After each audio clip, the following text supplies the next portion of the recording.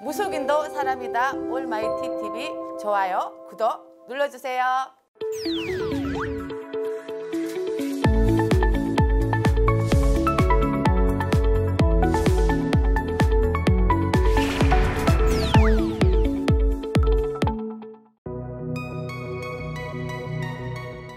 그 안방은 솔직히 혀- 우리가 하- 문을 탁 열고 들어갔을 때 현관하고 거실이 있잖아. 그런 데서 가장 멀리 떨어진 곳을 있잖아. 안방으로 하는 것이 좋아. 그리고 이 안방이라는 것은 이제 내가 집 구조를 봤을 때 동쪽에 있는 방향이 있잖아. 집 안이라도 동쪽으로 있는 바라보는 것을 안방으로 쓰면은 좋은 기운을 받을 수 있거든. 그러면서 금전운, 자손운도 좀 좋아져.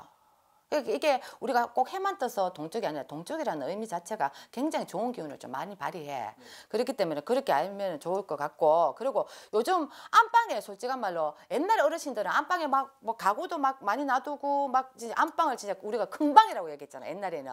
근데 지금의 안방이라는 의미는 그냥 침대방이라고 생각하고 내가 그냥 잠시 이제 내 오늘 하루를 마감한다.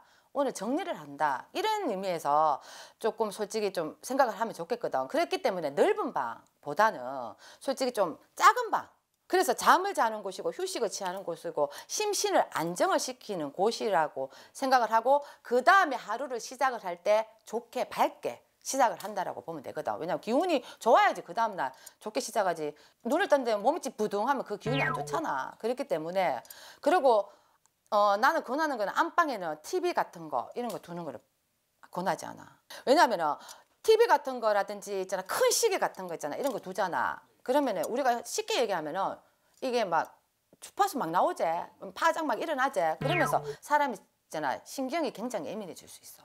그래서 어, 신경 예민해지고 하는 일마다 내가 노력했는 만큼에 대해서 성과를 올리기가 힘들어.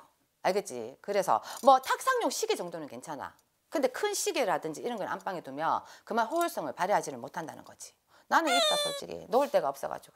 그러니까 아침마다 되면 있잖아 정신이 상그럽고 있잖아 막 진짜 일어나기가 너무 힘들다. 나는 어쩔 수 없어. 내가 구조상 집 구조상 어쩔 수 없거든. 그래서 그래서 간단한 침대, 미니 미니 테이블 이런 거 두는 거는 괜찮은데 뭐 다른 큰 물건은 솔직히 안 놨으면 좋겠고 그리고 어, 침실을 딱 이제 꾸미잖아. 그러면 베개 카마나 친구 색이지 그런 거는 있잖아 청색이나 녹색 계통이 하면은 우리가 있잖아. 딱 자는 자잖아.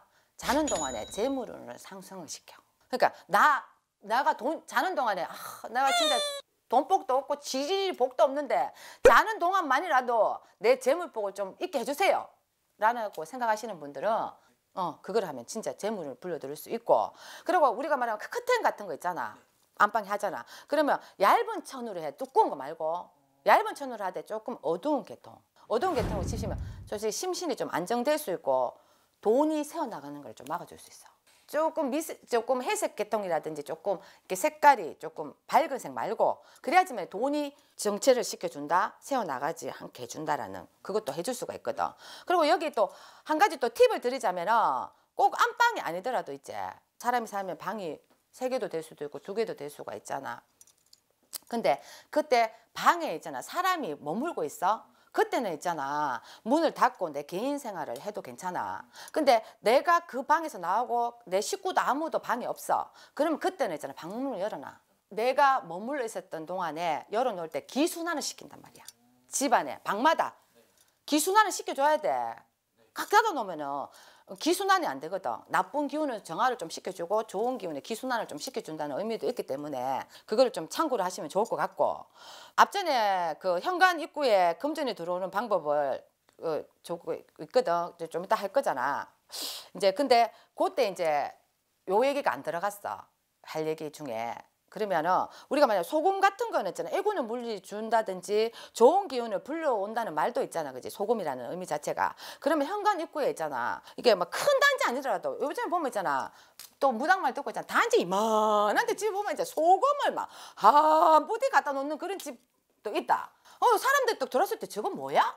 이렇게 할 수도 있다는 거야. 그리고 또 뚜껑도 안 닫아놓으면은 이제 뭐 항아리에 이런 데 진짜 좀 많이 하거든. 그러면은 뚜껑을 열어놔야지 보이잖아. 근데 그게 있잖아. 그렇게 하지 마시고 요즘에 있잖아. 마트 같은 데 가면 플라스틱에 술도 많이 담그잖아. 그런데 작아도 괜찮아. 작은데 뚜껑을 딱 닫아 놓는 게 있어. 빨간 뚜껑이라든지. 그러면은 솔직한 말로 먼지나 이런 거 때도 묻지도 않고 소금은 담겨져 있다는 의미거든. 꼭 열어가지고 소금이 눈에 막 이렇게 밖으로 흘러나오시 보여야지만이 하는 건 아니야. 그렇기 때문에 뚜껑을 딱 이렇게 닫아가지고 먼지도 안 앉게. 깨끗하게 놓아두면 한쪽에 딱 신발장 위에 올려놓다든지 아니면 한쪽에 딱 이렇게 홍하지 않게 놔두면 집안의 기운도 좋아지고 그리고 또 이제 나쁜 기운도 정화를 시켜주고 우리 집에 만약 손님이 왔었을 적에 저 손님이 뭐 막말 따지면 상가집에 갔다 들어올 수도 있고 뭐 솔직히 어디 나쁜 데 갔다가 들어올 수도 있고 더러운 짓 하다가 들어올 수도 있잖아 막말로 따지면. 그러면 그게 눈에는 안 보이지만 씻어낸다는 의미도 되는 거야. 그래서 그걸 또 참고를 해주시면 좋겠어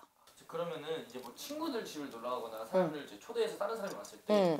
뭐 안방에서 침대에 놓 예의상 안 눕는다 이런 말 응, 있잖아요. 응. 그러니까 내가 아까도 얘기했잖아. 근데 사람이 들어왔었을 적에 누가 들어왔다. 내가 있, 있을 때는 괜찮지만 사람들이 들어왔다. 우리 집에 놀러 왔다. 친구들이 들어왔다. 나의 안방을 닫아야 돼. 아, 그때는 왜?